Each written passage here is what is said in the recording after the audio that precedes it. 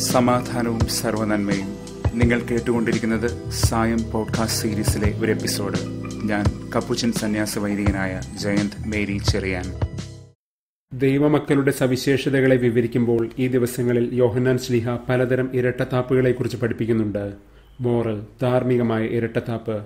ദൈവത്തെ അറിയാം എന്ന് പറയുകയും അതേസമയം ദൈവകൽപ്പനകൾ അനുവർത്തിക്കാതിരിക്കുകയും ചെയ്യുന്നത്. വിശ്വാസപരമായത് ഡോക്ട്രൈനൽ ഇരട്ടത്താപ്പ്. പിതാവിനെ സ്വീകരിക്കുന്നുവെന്ന് പറയുകയും പുത്രനെ തള്ളിപ്പറയുകയും ചെയ്യുന്നവർ. ഇന്ന് സാമൂഹികമായ ഒരു ഇരട്ടത്താപ്പ് സോഷ്യൽ ഫോൾസ്ഹുഡിനെ ശ്രീഹ വിവരിക്കുന്നു. ദൈവത്തെ സ്നേഹിക്കുന്നുവെന്ന് പറയുകയും അതേസമയം സഹോദരനെ സ്നേഹിക്കാതിരിക്കുകയും ദ്വേഷിക്കുകയും ചെയ്യുന്നതിനെക്കുറിച്ച്. ദൈവത്തെ സ്നേഹിക്കുന്നവർ തീർച്ചയായും ദൈവത്തിന്റെ മക്കളെയും സ്നേഹിക്കുമല്ലോ. ബെനഡിക്റ്റ് പതിനാറാമൻ പാപ്പ ഒന്ന് യോഹന്നാൻ നാല് പത്തൊമ്പത് മുതലുള്ള ഈ വചനഭാഗത്തെ ധ്യാനിച്ചുകൊണ്ട് പറയുന്നു സ്നേഹമെന്നത് ഒരു കൽപ്പന മാത്രമല്ല. ദൈവം ആദ്യമേ നൽകിയ ഒരു സമ്മാനമാണ് സ്നേഹം. ആ സമ്മാനത്തോട് നാം കാണിക്കുന്ന പ്രതികരണമാണ് പരസ്പര സ്നേഹം. ആ സ്നേഹം വഴി ദൈവം നമ്മെ തന്നിലേക്ക് അടുപ്പിക്കുകയും ചെയ്യുന്നു. നമ്മുടെ സ്നേഹത്തിന്റെ ഉറവിടം അത് നമുക്ക് മുന്നേയുണ്ട്. അത് നമ്മുടെ ആശയിലും അഭിലാഷത്തിലും പിറകൊള്ളുന്നതല്ല. ദൈവത്തിന്റെ കൽപ്പനകൾ ഈ അർത്ഥത്തിൽ ചിന്തിച്ചാൽ സ്നേഹത്തിന്റെ നിർബന്ധ ബുദ്ധിയല്ല സ്നേഹത്തിന്റെ മധുരോദാരമായ ക്ഷണമാണ് പ്രകടമാക്കുന്നത്. ഇന്ന് സ്നേഹ പറയുന്നത് അതുകൊണ്ടാണ് ഈ കൽപ്പനകൾ ഭാരപ്പെടുത്തുന്നവയല്ല എന്ന്. എന്തുകൊണ്ടാണ് ദൈവത്തിന്റെ കൽപ്പനകൾ ഭാരപ്പെടുത്തുന്നവയല്ലാത്തത്? കാരണം അവ മനുഷ്യന്റെ സ്വാതന്ത്ര്യത്തെ മാനിക്കുന്നു. ആ സ്വാതന്ത്ര്യത്തെ മാനിച്ചുകൊണ്ട് തന്നെ ഉത്തരവാദിത്വപൂർണതയോടെ ആ സ്വാതന്ത്ര്യം വിനിയോഗിക്കാൻ അവനെ സ്നേഹമസൃണമായി ക്ഷണിക്കുകയും ചെയ്യുന്നുണ്ട്. ഒലീവിയ ക്ലെമൻ എന്നൊരു ദൈവശാസ്ത്രജ്ഞൻ വിവരിക്കുന്ന ഒരു കഥയുണ്ട്. ഒരു കുഞ്ഞ് തന്റെ വികാരിയച്ഛനോട് ചോദിച്ചു അച്ഛനല്ലേ പറഞ്ഞത്? ദൈവം സർവശക്തനാണെന്ന്. അങ്ങനെയെങ്കിൽ ദൈവത്തിന് പോലും പൊക്കാൻ പറ്റാത്ത അത്ര ഭാരമുള്ള ഒരു കല്ല് സൃഷ്ടിക്കാൻ ദൈവത്തിന് സാധിക്കില്ലേ? ഈ കടങ്കഥയെ ആധാരമാക്കി ലിവിയോ മെലീന എന്നൊരു ദൈവശാസ്ത്രജ്ഞൻ പറയുന്നുണ്ട്.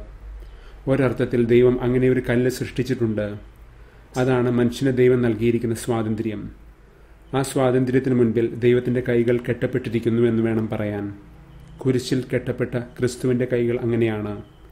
അത് അനുസരണമെന്തെന്നും സ്നേഹമെന്തെന്നും നമുക്ക് പരമമായി വെളിപ്പെടുത്തി തരുമ്പോൾ തന്നെ നമ്മെ പിടിച്ച് വലിച്ചിഴക്കാതെ ആ സ്നേഹവും അനുസരണവും അനുകരിക്കാൻ പ്രണയാർത്ഥനമായി സൗമ്യമായി ക്ഷണിക്കുകയും ചെയ്യുന്നു. നമ്മുടെ ഉത്തരത്തിനായി അവൻ കുരിശിൽ കൈകൾ കെട്ടപ്പെട്ടവനായി കാത്തുകിടക്കുകയാണ്. നമ്മുടെ സ്വാതന്ത്ര്യത്തിൽ നിന്ന് വേണം നമ്മുടെ സ്നേഹം ഉത്ഭവിക്കാൻ. അതാണ് യഥാർത്ഥ സ്നേഹം യഥാർത്ഥ ആത്മസമർപ്പണം. ഇന്ന് സങ്കീർത്തനം എഴുപത്തിരണ്ട് ക്രിസ്തുവെന്ന അത്യുന്നതനായ പരിപൂർണനായ ദേവകുമാരനെ വിവരിക്കുന്നുണ്ട്.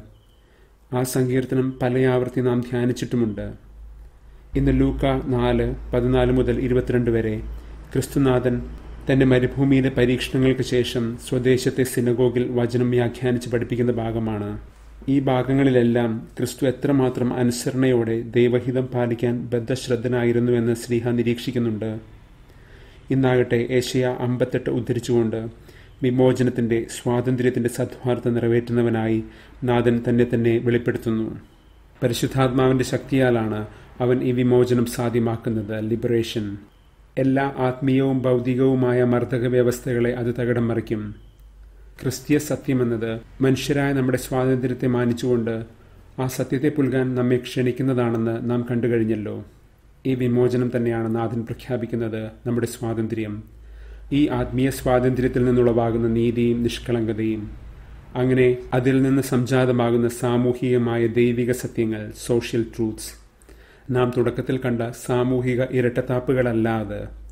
ഇന്ന് നാഥൻ ഉദ്ധരിക്കുന്ന ഏഷ്യ അമ്പത്തെട്ടാം അധ്യായം അടിസ്ഥാനപരമായി അടിച്ചമർത്തപ്പെട്ടവരെ മോചിപ്പിക്കാൻ ദൈവം ഇസ്രായേലിനോട് നിഷ്കർഷിക്കുന്ന ഭാഗമാണ്.